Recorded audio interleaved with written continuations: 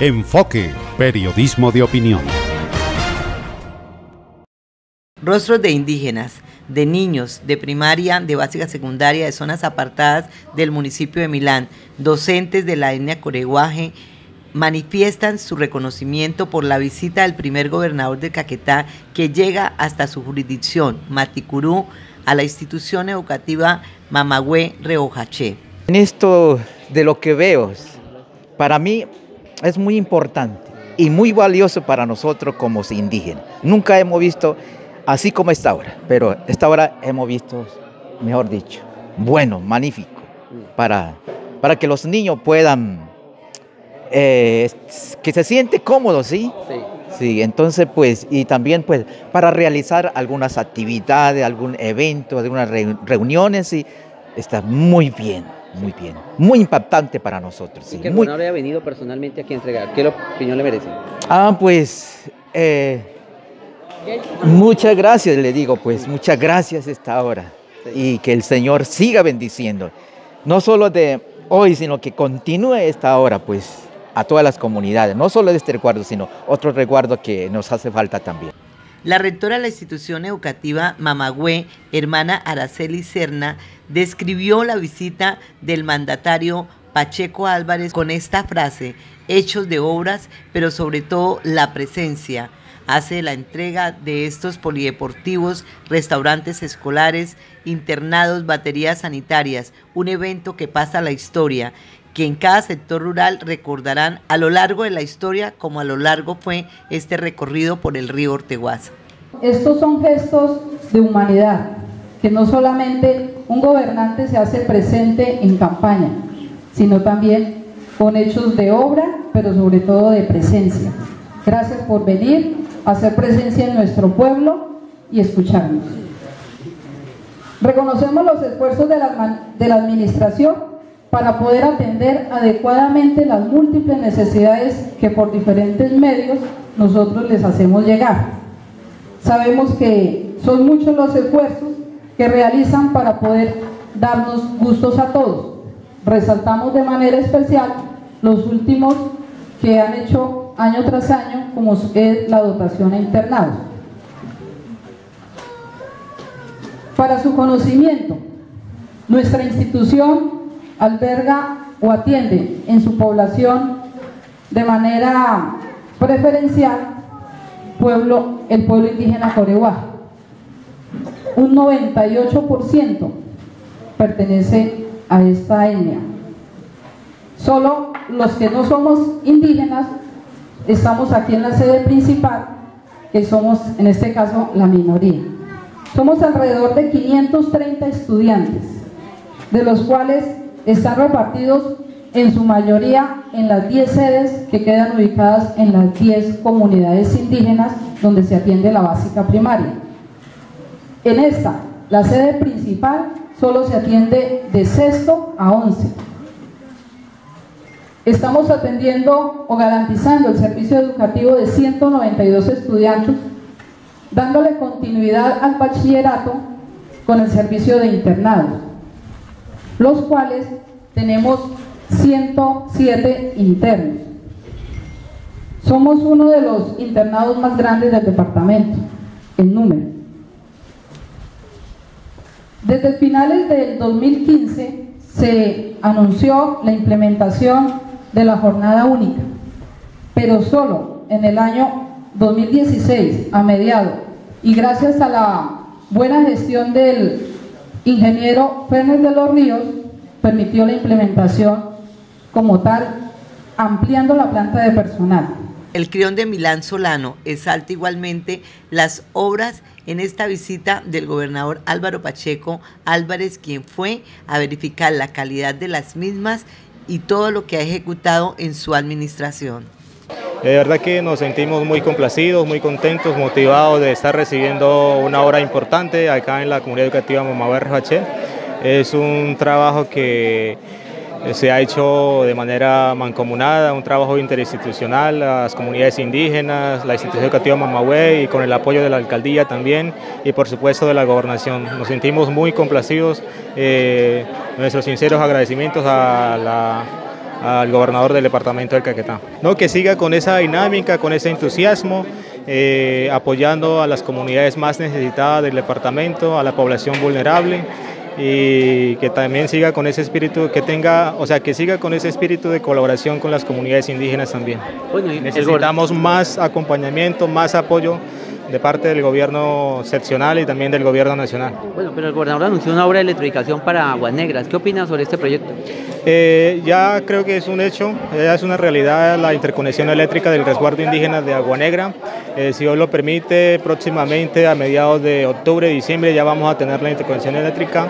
Eh, cosa que le agradecemos bastante al gobierno departamental en cabeza del doctor Álvaro Pacheco Álvarez. ¿Cuántas personas benefician con este proyecto? Con ese proyecto van a beneficiar aproximadamente 520 familias con una población de 800 personas.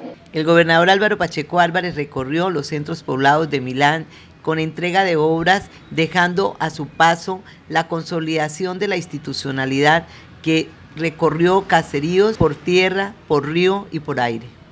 Todo esto hace parte de un proyecto en los cuales he entendido que el respeto por la dignidad humana, el respeto de la inclusión es lo que hace la verdadera paz que queremos los colombianos y los caqueteños.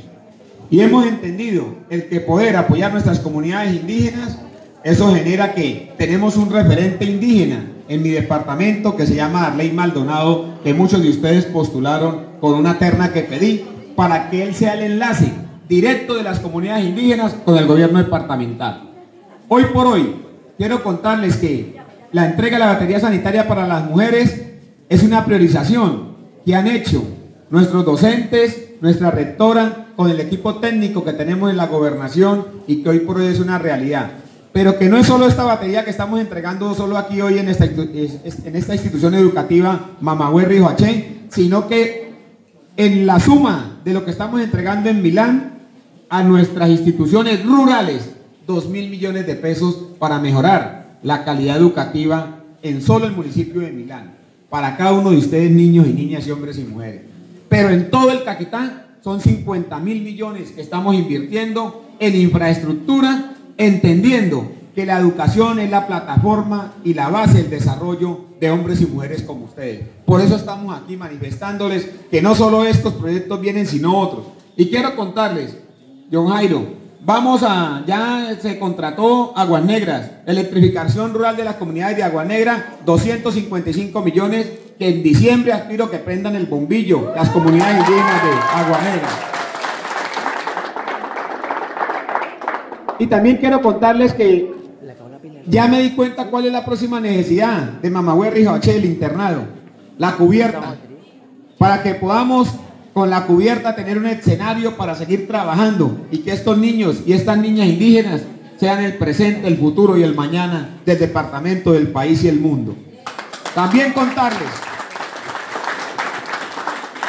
también contarles que no ha sido fácil. Contarles que estamos disponiendo maquinaria para arreglar la vía San Antonio. Ya la alcaldesa nos suministró el combustible en el día de hoy tenemos una, maquinaria, 14 volquetas, una motoniveladora, porque es que la lluvia ha hecho que se deterioren todas las vías del departamento y estamos trabajando en ellas. Pero también contarles que el gobierno nacional se quitó la cabezal de las vías del Caquetá y nos la dejó solo a los alcaldesas y al gobernador. Infortunadamente no contamos los recursos para mantener más de 5 mil kilómetros, pero ahí vamos, en eso no nos quedamos, seguimos trabajando para beneficiarlos a ustedes. También decirles que es mucho lo que hay por hacer.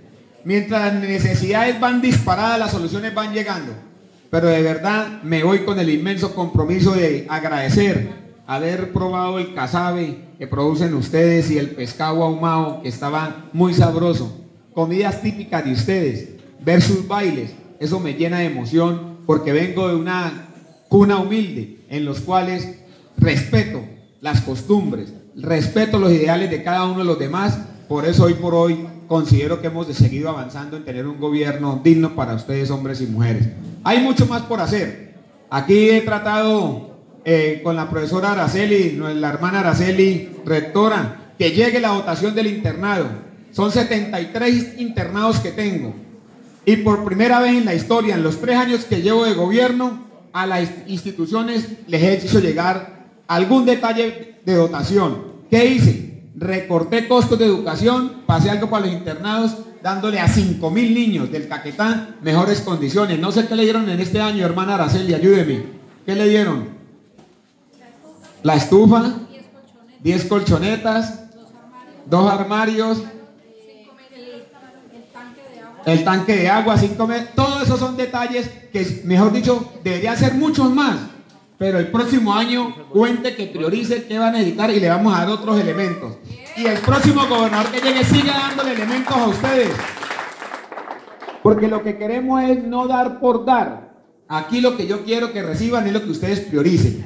Y por eso, créanmelo, profe, que vamos a revisar, ya le dije a Dolly, quedó muy linda la capilla, la felicito. Y felicito a las comunidades que son los que también la han apoyado en este. Vamos a ver cómo la apoyamos con, con la cerámica y el piso. Gilmita va a quedar frente de eso para, para apoyarle y dejarle ese regalo a Pioche Mamá. Mamá, güey. Y ya estamos revisando, mis técnicos, ustedes vieron los ingenieros tomando las medidas de la cubierta, ¿cierto? En los próximos días, aspiro que con los recursos que ahorre este año, el próximo año pueda dejarles ese regalo a ustedes con todo el cariño y el aprecio. Bendiciones para ustedes y muchas gracias por recibirme. Gracias por los detalles. Gracias a ustedes y comunidades indígenas. Créame que todos los detalles que me han dado los indígenas jamás los regalo. Siempre tengo un sitio para los detalles que ustedes me dan. Dios les pague. Muchas gracias por el afecto y un abrazo para todos. Enfoque, periodismo de opinión.